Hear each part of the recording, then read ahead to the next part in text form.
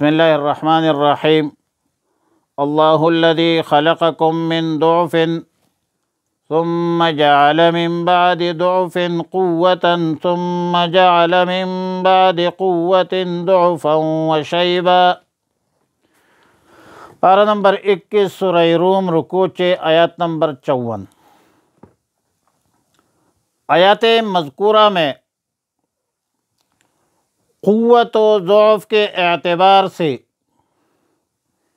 انسانی وجود کا ایک مکمل خاکہ پیش کیا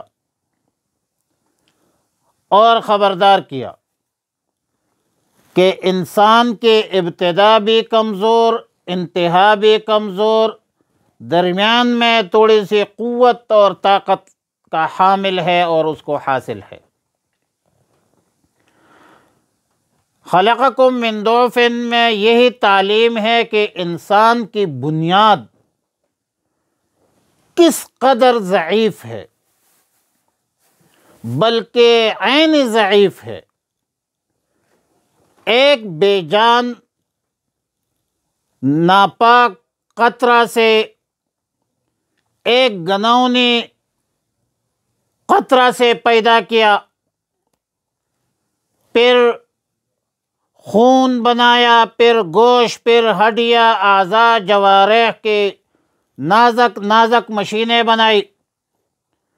ایک چھوٹے سے وجود میں چلتی پھرتی فیکٹری ہے اور فیکٹری کیا ہے، ایک ایک عالم اصغر ہے۔ جس میں پورے جہان کے نمونے اس وجود میں موجود ہے جس کے تخلیق تکوین بڑے بڑے ورکشاپوں میں موجود نہیں ہے،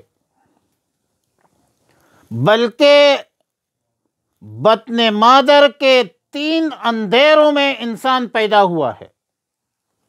ایک تنگ تاریک جگہ میں بطن مادر کے خون اور علائشوں سے غذا پاتے ہوئے حضرت انسان کا وجود تیار ہوا ہے۔ ثم السبیل یسرا۔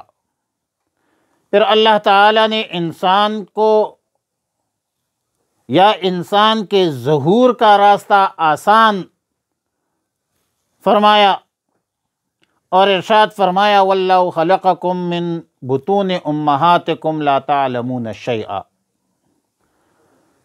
تمہیں جب مادر شک میں مادر سے ماں کے پیٹ سے نکالا۔ تمہاری حالت ایسی تھی کہ تم کچھ بھی نہیں جانتے تھے۔ سب سے پہلے اللہ تعالیٰ نے یہ سکھلایا۔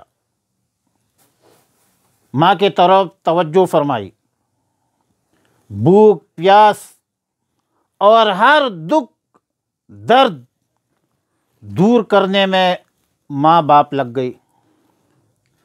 ماں کی چاتیوں سے دودھ نکالنے کا ہنر اس لا یعقل لا یعلم بچے کو سکھایا۔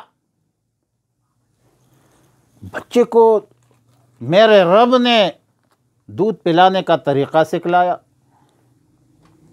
گرمی کی حرارت ہو، سردی کی شدت ہو، اس سے بے خبر بچہ، مرض سے غافل، اس معصوم بچے کے پرورش۔ والدین نے کے دل میں اللہ تعالیٰ نے ڈال دی۔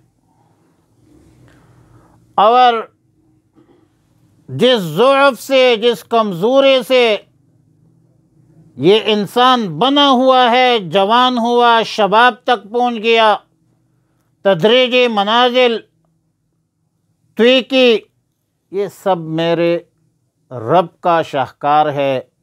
اس کے سامنے انسانی عقل حیران، حق دق ہو جاتی ہے۔ ثم جعل من بعد دوفن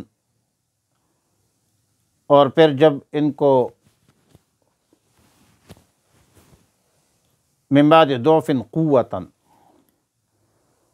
اور جب یہ قوت پر پہنچ گئی تو یہی انسان ہے۔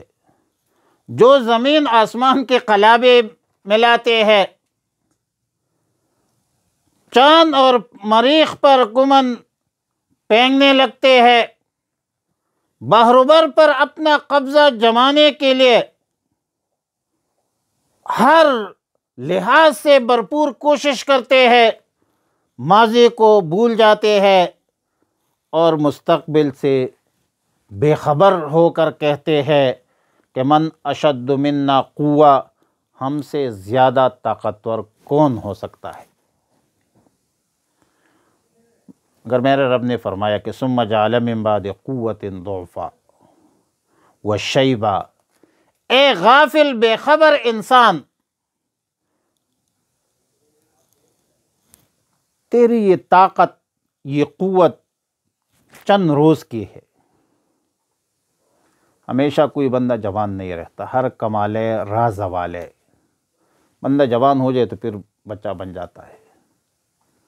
بڑھاپے میں بچوں کی عادتیں ہو جاتی ہیں۔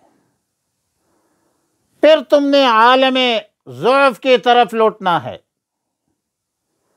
بال سفید آزاد جوارح کمزور شکل صورت تبدیل، یہ سب میرے رب کا کمال ہے۔ ہر کمال راز والے اور اس کے بغیر کسی انسان کا کوئی چارہ نہیں ہے۔ ہر رنگ، نسل، زبان، مذہب، مسلک کا یہی حال ہے۔ پوری انسانیت کی بات ہو رہی ہے بھائی۔ یخلق ما یشاء وهو العلیم القدیر۔ یہ سب کارسازی رب العزت کی ہے، رب العالمین کی ہے۔ جو چاہتا ہے، جس طرح چاہتا ہے، پیدا کرتا ہے۔ اللہ کے علم، قدرت بہت وسیع ہے اور اللہ کی ذات بہت بڑی ہے، اللہ بہت بڑا ہے۔ فرمایا، اللہ الذی، اللہ وہی ہے، خلقکم، جس نے تمہیں پیدا کیا۔ من بعد من ضعفن، کمزوری کی حالت میں، ثم جعلا، پھر پیدا کر دی۔ اللہ نے من بعد ضعفن، کمزوری کے بعد قوتاً، طاقت۔ ثم جعل من بعد قوت ضعفن پھر پیدا کر دی۔ اللہ تعالیٰ نے طاقت کے بعد کمزوری و شیبتاً اور بڑھاپا۔ یخلق ما یشا اللہ پیدا کرتا ہے، جو چاہتا ہے وہ العلیم، وہ علم والا ہے، القدیر، قدرت والا ہے۔ وصلی اللہ علیہ نبی الامی الکریم، وعلی علیہ وصحبہ اجمعین۔